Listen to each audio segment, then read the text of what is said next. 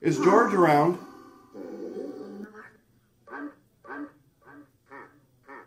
I'm here. Did you hear that? Wow. Thank you, George. George, I got a couple questions about your restaurant. Are you okay answering some questions? Holy shit. George is a strong spirit. We gotta talk more, George.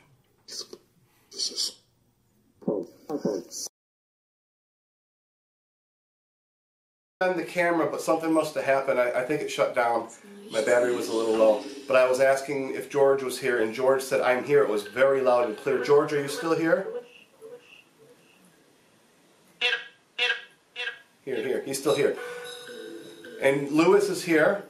I heard Lewis's name a couple times.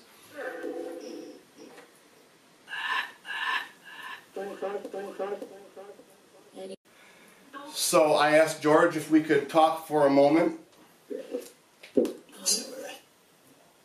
That's where we're at. This is where we're. This is where we were at. I think that's what, what he said.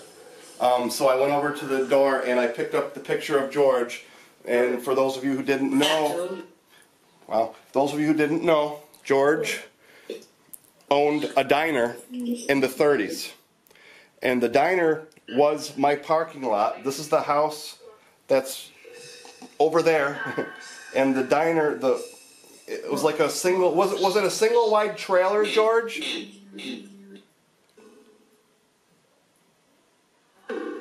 Was it like a trailer? Like a bus trolley type thing, and it was converted into a diner.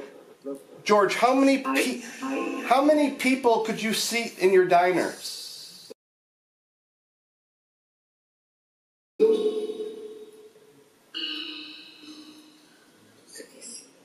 Six? And, and that's George right there. I don't remember George's last name. Can you tell me your last name, George?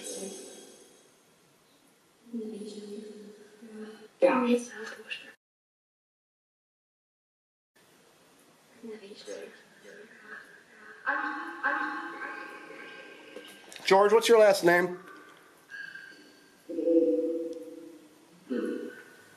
I think that's George back there talking. I used to know it. I, I got to look it up again. I can't find the paper.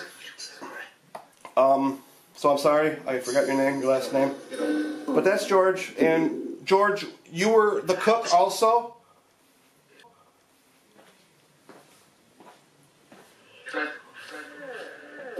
Yeah. So I know that you served bagels. You had coffee. Did you serve eggs and toast?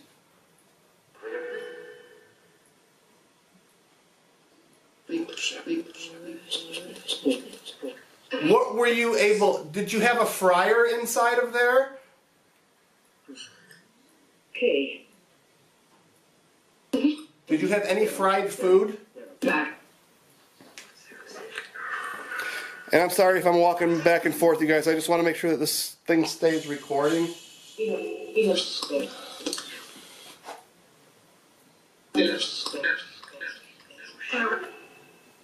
Was that yes that you had a fryer? Did they have fryers in the 30s?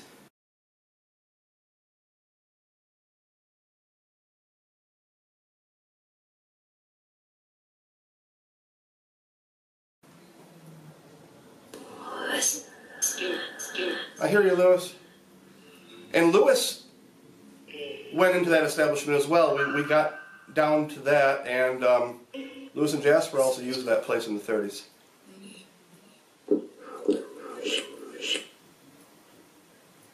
And George gave me an amazing session. This this is probably going back a year and a half.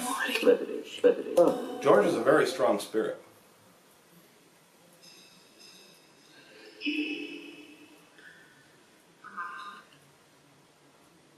Um, so you served eggs. So did you have a stove inside of there? What kind of a, a flame top? Is that what you had? Something to uh, correct? Okay. So you were. How did you get your food? Local farmers?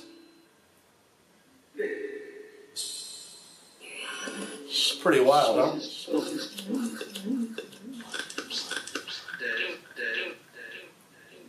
Who was the local farmer that you received your goods from?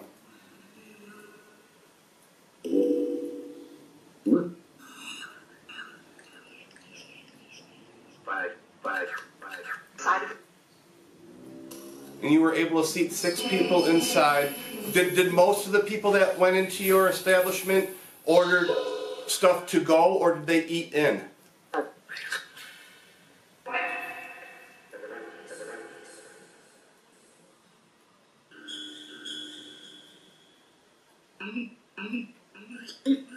Let's try and keep it simple so that you can answer. Um, if they ate in, mostly say in. If they ate out, mostly say out.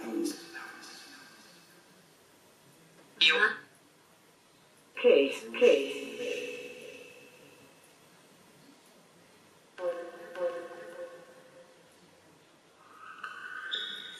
George, did you have any family that worked in the diner with you?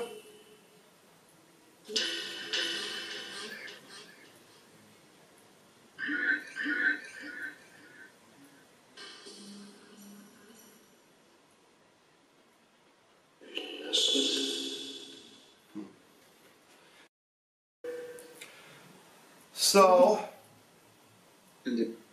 who's still with me? Lewis, George. So I, I was watching, I, I don't know who was with me, if anybody was, but I was watching the AMC making of the American Mobsters. It was like seven or eight parts. It was really, really good. It was really good. um, I did have meters. I was watching it and seeing if anybody was was around me. I didn't I didn't get anybody showing up on my meters. Did you guys watch that series with me?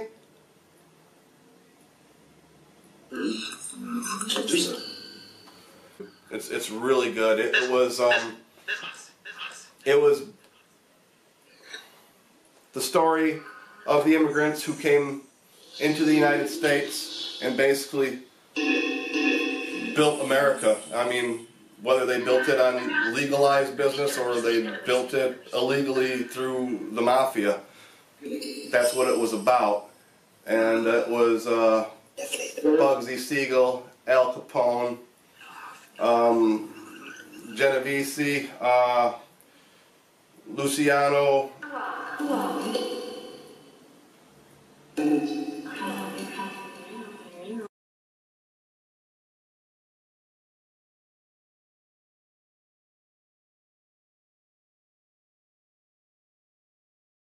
So yeah, you guys, the um, the mob story was, was pretty good.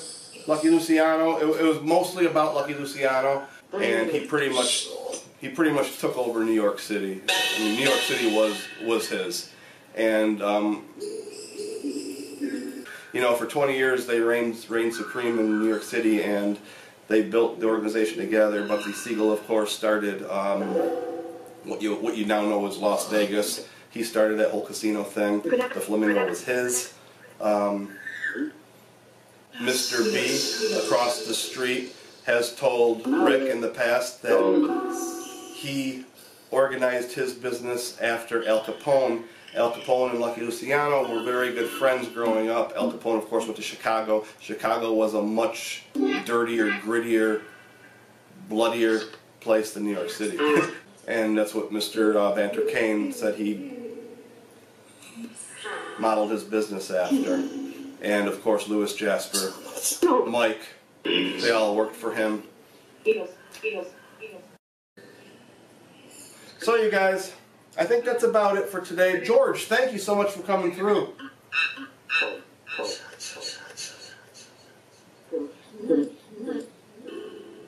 We'll talk again. I, I've got a, a, I've got um, Margin Manor coming up. The team and I, and I've already explained what that was.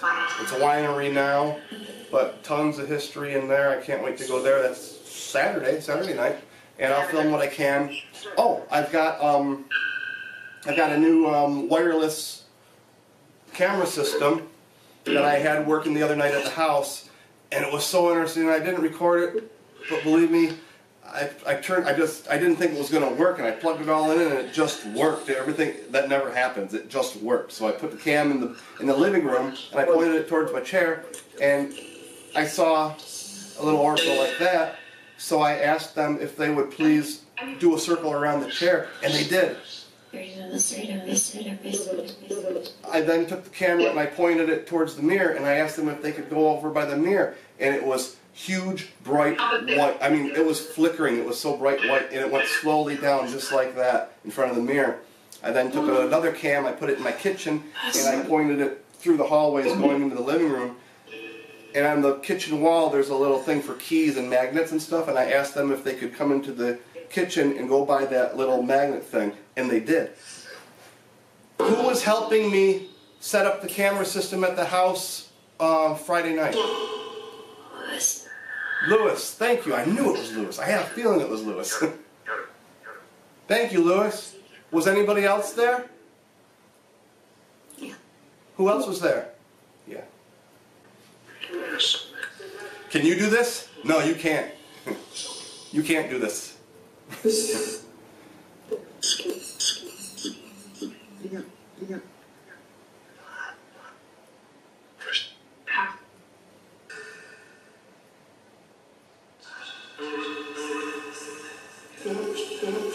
Lewis, thank you for answering my questions. George, thank you for coming through.